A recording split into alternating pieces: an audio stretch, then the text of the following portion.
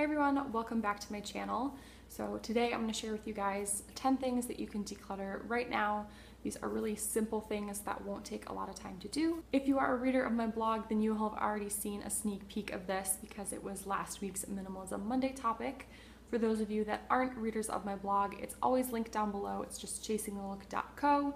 But I brought back Minimalism Monday in October. So every Monday I do a minimalism related post so the first thing are books. Now, I really love reading, and every once in a while I do like to go through my books and make sure that I'm getting rid of any that either I have and I've had every intention of reading and I've never gotten around to, because if I'm being honest, if I haven't gotten around to reading it yet, I probably won't. Um, or books that I've already read and I know realistically I'm not going to read again. The next thing are t shirts, and these are another one that I feel like just collect so easily. You can get them through fundraisers and school and work events, sports teams. They're really cheap at the thrift store. They're just available pretty much at all kinds of events and they can be free or cheap. So I feel like we all kind of end up with a lot of them. I personally don't really wear t shirts out and about very much. Um, I like to dress a little bit nicer for work than that, and I really mostly reserve them for working out and sleeping in. So it just doesn't make sense to me to have a huge collection of t-shirts when I only use them for those purposes. So what I did was just pay attention to through one laundry cycle, so from the time that I wash everything to the next time that I wash everything, how many t-shirts did I use in that span of time for pajamas, working out, and wearing out of the house? And that gave me a good guideline of how many t-shirts I should have, and I was able to let go of the extra ones. The third category of items are travel containers. So there's a whole slew of travel containers, but the ones that I mainly noticed that I tended to accumulate were makeup bags um, or those little plastic reusable bags that you can put your liquids in and they're see-through, um, the squeezy tubes or bottles or jars that you put liquids into. I had a bunch of extra contact cases, um, all of those types of containers. I just had way too many of them. And again, they're an item that they seem really useful and functional, but once I actually kind of just took some extra effort to uh, notice how I was packing and what I was using, and I really developed a good system for packing, it became really obvious that all of the rest of those items were excess and they weren't really useful even though they seemed very functional. I wasn't using them with the way that I was packing, so it didn't really make any sense to hold on to them. The next one is towels. I found for myself that four full-size bath towels is the perfect amount for me. If I have three towels, I tend to run out just a few days before I do laundry. And if I have five or more, then I never end up using all of the towels. So I found that four is the perfect amount for me. The next item are bed linens. So in college, I had an extra set of sheets um, because I thought I should.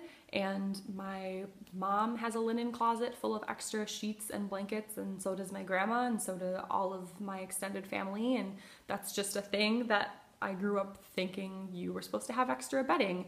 And in college, it became really clear to me that I did not need an extra set of sheets because when I washed my bedding, I would take it off my bed, go wash it, dry it, and then make my bed again before I go to sleep that night. And if I have the extra set of sheets, what ends up happening is that I take all my dirty ones off my bed and put on the clean ones, and then instead of washing and drying the dirty ones and putting them right back on, they just sit in a dirty pile in my closet.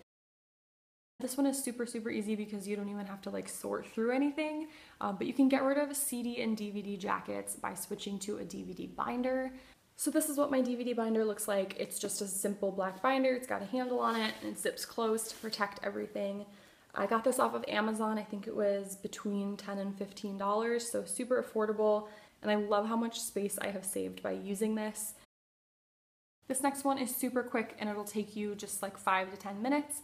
If you have a cabinet in your house where you keep medicines like ibuprofen or cold medicine, Take everything out, do a quick wipe down of the cabinet, and then check to see if anything has expired.